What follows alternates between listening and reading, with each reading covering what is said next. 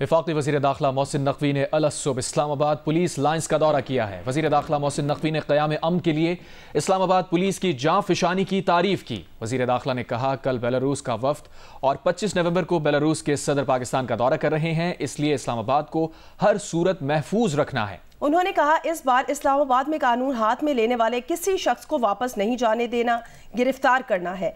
Police बुलाकर और दौरान ड्यूटी तमाम हिफाजती सामान पहनने और एहतियाती तदाबीर इख्तियार करने की भी हिदायत कर दी। इस दफ़ा फिर एक हेड ऑफ़ स्टेट बेलारूस के प्रेसिडेंट पहुँच रहे हैं।